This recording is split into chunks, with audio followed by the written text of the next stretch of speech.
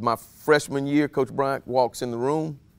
He's got his five national championship rings in a case. He says, Men, all we're going to do is be champions. In the left side, Gentry in the right. Radar Holt in motion across. There's that penetration again, Lindsey, and it's going to cost him. Intercepted at the 18-yard line by Castille.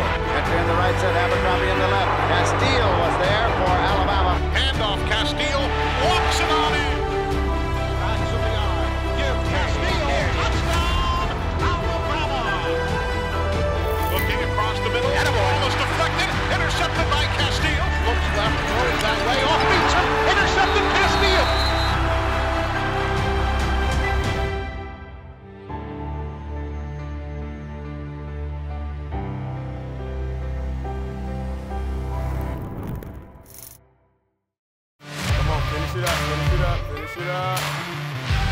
Julie, that's it. There we go. That's it. Good, good, good.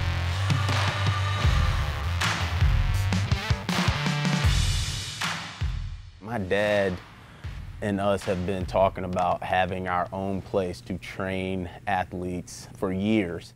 We want this place to, to really just make a difference in people's lives, not just physically, but spiritually and mentally as well. And I feel like this is one way, um, a huge way that we can carry on, I feel like what the Lord started with my dad, bringing him up out of poverty, up out of his situation in Phenix City, I mean, it's nothing short of a miracle that we're in the situation that we are today. To be able to have an academy where, you know, we're able to just pour, into people's lives and work together as a family. We want to invest, influence, impact, and inspire the next generation. That's what Coach Bryant did for me. I grew up in a dysfunctional home. There was alcoholism and drugs and domestic violence at a very high level. So that's what I saw. There was a lot of rejection I received within my home from my parents. I have a two inch scar on my right arm right here where one day my mother cut me when she was intoxicated. So when you got that type of rejection within your home, that's where my strength came from. And so when I had to deal with uh, things outside of my house, I had the strength. So, what led you ultimately to play for Coach Bryant at the University of Alabama? Growing up watching the Coach Bryant show on Sundays, and um, there was a guy from where I grew up named Woodrow Lowe that was a three-time All-American. I'm sitting there, and the, Lord, and the Lord just helped build a vision that you could do what he's doing right now. Woodrow Lowe helped build that dream. I'm a freshman. I've been there two weeks at the University of Alabama, 1979. I walk in during two-day practice. I've got this pink slip on my locker says, Coach Bryant want to see you. I'm like, well, I don't want to see him. That's the last place, you know, I want to go as a true freshman. Coach Bryant's in his office. I walk in, he's smoking a cigarette, and he puts it out. And in that old Southern drawl, he Jeremiah, I believe you can play here at the University of Alabama. So I'm thinking, yeah, when my turn comes, he says, you can play this year. So my confidence goes from here to just, oh my, coach believes I could play. He took, I say, 10 minutes, 10, 15 minutes to invest to let me know. As I was walking out of his door, he says, he said, Jeremiah, you see that door? He said, that door is always open. If you ever have a problem, don't hesitate to come knock on that door. It's like yesterday that I still hear those words. So he was willing to invest 15 minutes into Jeremiah Castille. And naturally, when he said jump, is how high coach. I knew he cared about me as a person, not just a player, but as a person. I was talking to Woodrow Lowe, who was two years in the integration when he got there. We were sitting and talking, and he said, Jeremiah, I truly know Coach Bryant loved me. And I believe every black player that came through there that he coached, that would be their, their testimony. Coach Bryant loved everybody. You know, right now our country is faced with a lot of challenges. We're in the midst of a, a pandemic that nobody saw coming. And we're also, as a, as a country, trying to shine light on the social injustice. And, and myself, as, a white American female, want to join the conversation. We at AL.com want to join that same conversation.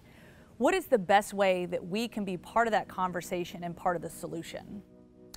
I believe the best way to be a part of the conversation is take it further than a conversation. Take it to relationships. I have friends with different, we have different ethnic backgrounds, and I believe God has blessed all of the different ethnic groups. We all have gifts, abilities, and talents. When we learn from one another, then we can truly build a beautiful life. And that's what, to me, God is it's all about. I, he wants us to build a beautiful life so that the world can look and see, you know, um, that man or woman doesn't see color. They see need. As a result of that, I feel like it's made me a richer person, a better person, a more well-rounded person. A lot of times, if something doesn't affect you, you, I mean, you, it's hard for you to care. My wife, for instance, she's not going to experience the things that I have experienced or will experience. I feel like for us to take more steps in the right direction, it's going to be the people who racism necessarily isn't going to affect directly to actually care. And that's, I feel like, one of the hardest things to communicate with people. How do you feel that sports uh, and football, even more specifically, unites us and helps to blend different backgrounds? I play a corner, right? I'm not thinking about where, what color is my safety? Or, you know, where did he come from? All of all of these different things that we can get caught up in in society. I feel like it sports helps break all of that down. But the bottom line is, are you gonna be where you're supposed to be? You know, can I count on you? Can you count on me? I mean, football, really sports in general, it, it really breaks down all of those barriers. I mean, when you're going through your off-season workouts Good, and Good, you, know, you feel like you about to die on numerous occasions, probably. Uh, you know, you you you bleed, you sweat, you. I mean, literally take your body to places that you never thought that it could reach with your teammates, and that just creates a bond that it, it shatters all of those all of those different uh, barriers that we can put. Um, between us and other people. That board is the same for everybody. It don't matter where you from, what you look like, brown, brown, white, black, it don't matter. We do not discriminate around here. So I love people just in general. So I want this to be a place where everyone feels welcome. It doesn't matter what your background is. It doesn't matter where you come from. We're all children of God. We're all made in his image. I want people to understand that when you come in here, we care about you as a person first and foremost, and that we're gonna love on you. Yes, the workouts are hard. We're gonna push you, but that's just because we love you. We want you to be the best version of yourself that you can be. Trust Mark. People you trust, advice that works.